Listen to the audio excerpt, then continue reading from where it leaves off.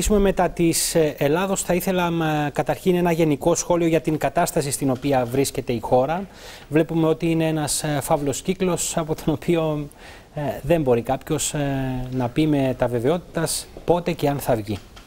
Θα συμφωνήσω με τον κύριο Χρήστο Μιχαηλίδη ότι η ουσία αυτού που γίνεται στην Ελλάδα δεν συζητείται και συνεχώς συζητείται πόσοι θα ψηφίσουν όχι, πόσοι θα ψηφίσουν ναι. Μάλιστα η Ελληνική Βουλή κανονικά θα έπρεπε να έχει τον χρόνο να συζητήσει την ουσία των θεμάτων. Δυστυχώς δεν τον έχει και παρόμοια ζήσαμε και εμείς εδώ στην Κύπρο. Ναι. Και θεωρώ υπεύθυνη για αυτήν τη διαδικασία την πλευρά της Ευρωπαϊκής Ένωσης. Είναι μια συστηματική τακτική που δεν παρέχει αρκετό χρόνο για συζήτηση.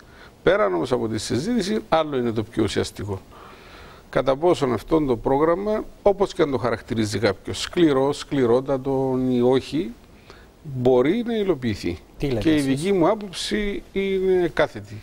Εάν δεν υπάρξει σοβαρή αναδιάρθρωση του ελληνικού χρέους με διαγραφή ενός ικανού ποσοστού αυτού του χρέους, δεν μπορεί να εφαρμοστεί και το δεύτερο που προβλέπω ότι θα υπάρχουν πολύ σύντομα αναπροσαρμογές Μάλιστα. Άρα θεωρείτε ότι η Ελλάδα αυτή τη στιγμή είναι στην ουσία σε έναν αναπνευστήρα όπου ανανεώνεται το οξυγόνο για κάποιο χρονικό διάστημα. Έτσι θα γίνεται και κοιτάξτε δεν χρειάζεται να πω την δική μου εκτίμηση. Είναι εδώ ο ίδιος ο Πρωθυπουργός που δίνει μάχη για να περάσει αυτό το πρόγραμμα.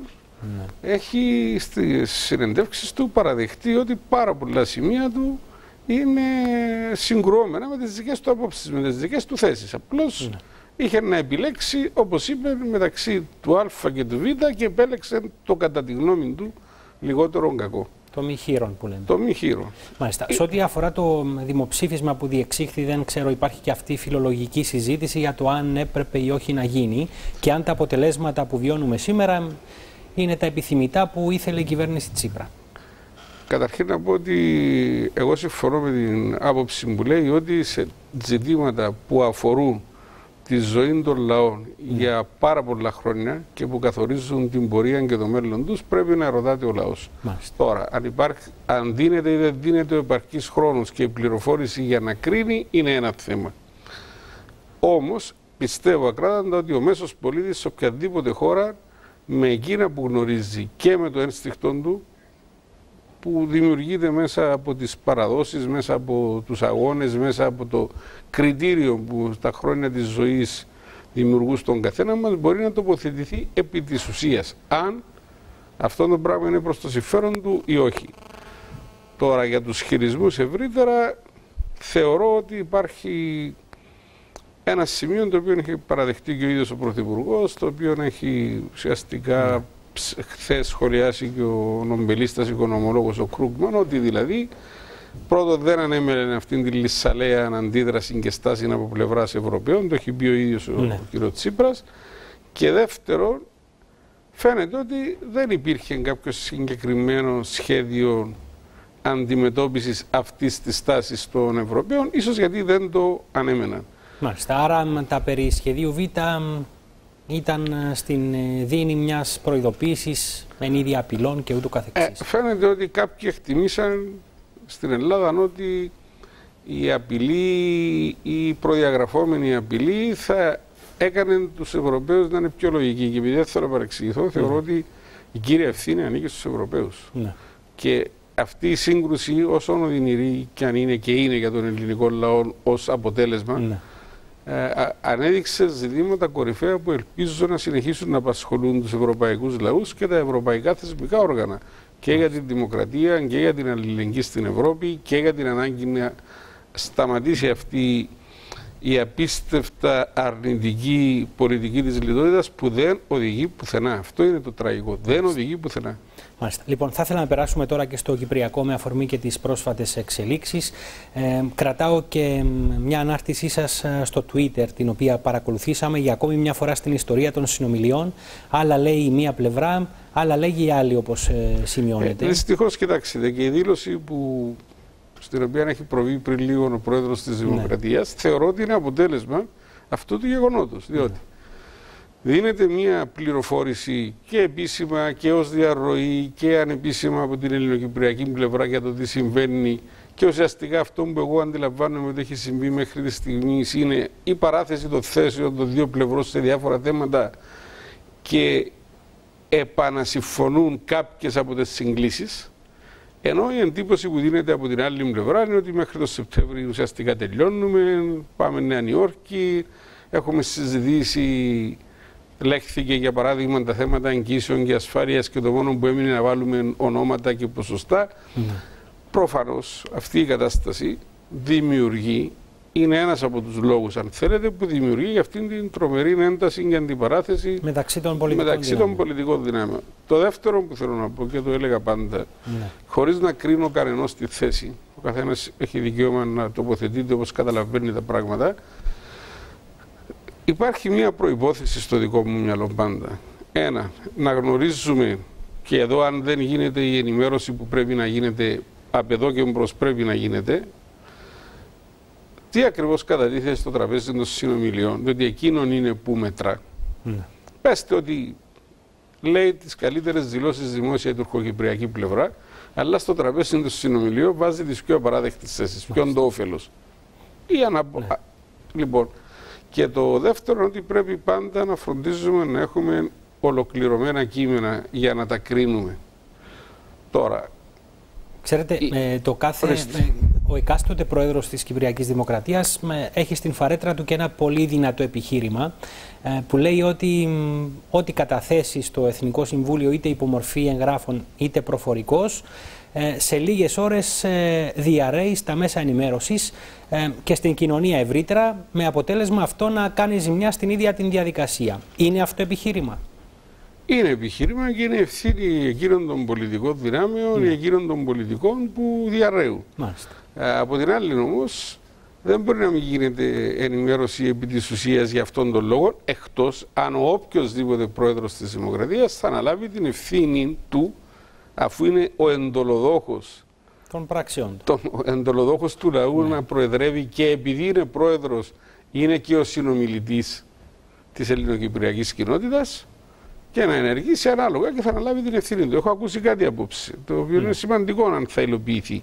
Ότι σε κάθε στάδιο που θα υπάρχει μια συμφωνία, έστω καταρχήν, θα ενημερώνεται ο Κυπριακός λαός.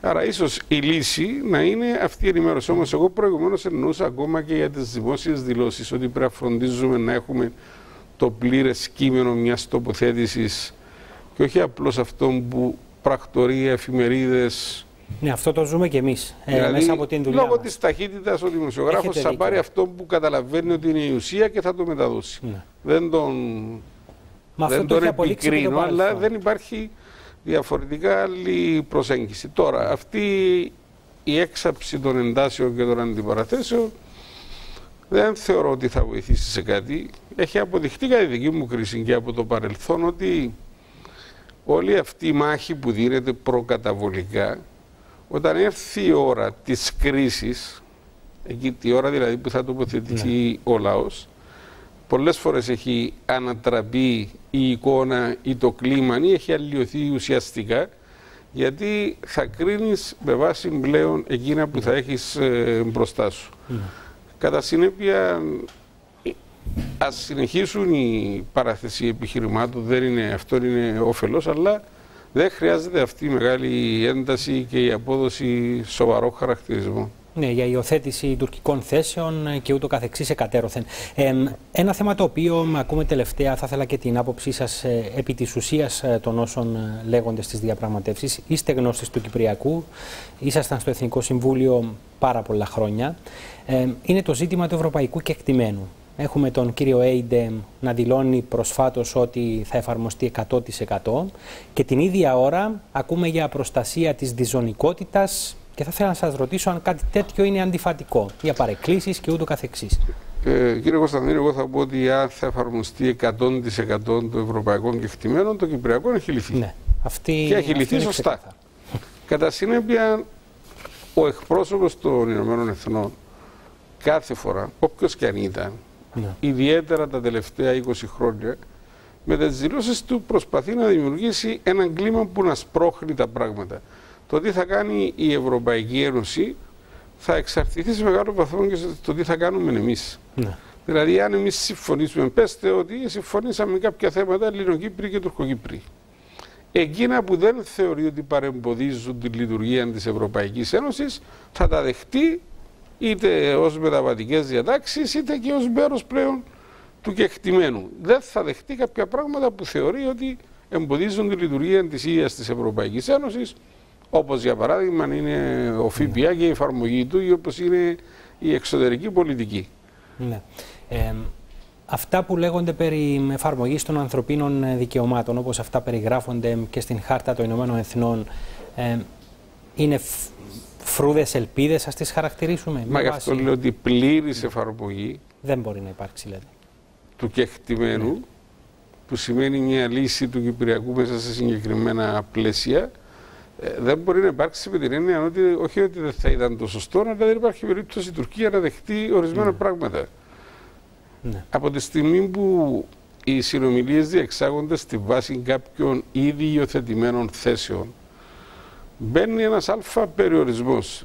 Δεν συμμερίζουμε ούτε ο χώρος στον οποίο ανήκω συμμερίζεται περιορισμούς δραστικούς ή για πάντα ισόβιου, αλλά κάποιοι περιορισμοί έχουν ήδη μπει. Αυτά τα πράγματα πρέπει να συζητούνται στα πλαίσια του Εθνικού Συμβουλίου, του Συμβουλίου Αρχηγών με ψυχραιμία. Ναι. Ε, και λέω ένα παράδειγμα, α πούμε. Έχει μπει από τη Συμφωνία Μακαρίων Τεχτά περιορισμός στα θέματα ασφάλειας. Αυτή είναι μια γενική θέση. Mm. Στο πώς θα εφαρμοστεί έχει τεράστια σημασία διότι εφαρμογής προς το έναν άκρο μπορεί να οδηγήσει σε μόνιμες ανεπιθύμητες καταστάσεις ενώ μια λογική εφαρμογή η οποία θα έχει εκείνες τις διατάξεις που θα επιτρέπουν σε κάποιο χρονικό διάστημα σιγά σιγά όλα αυτά να αρθούν διότι ο τελικός στόχος θα πρέπει να είναι η συνένωση των δύο κοινοτήτων. Πραγματικά. Και όχι η παγίωση μιας διαιρετικής κατάστασης η οποία και πάλι θα φέρει αρνητικά αποτελέσματα. Αυτό όμως προϋποθέτει μια πραγματική συζήτηση στη βάση των δεδομένων που υπάρχουν. Των δεδομένων. Λοιπόν, ε, έχω πάρα πολλά να ρωτήσω. Δυστυχώς ο χρόνος ε, δεν είναι ανεξάντλητος. Σας ευχαριστώ πάρα πολύ για την παρουσία σας. Να είστε καλά.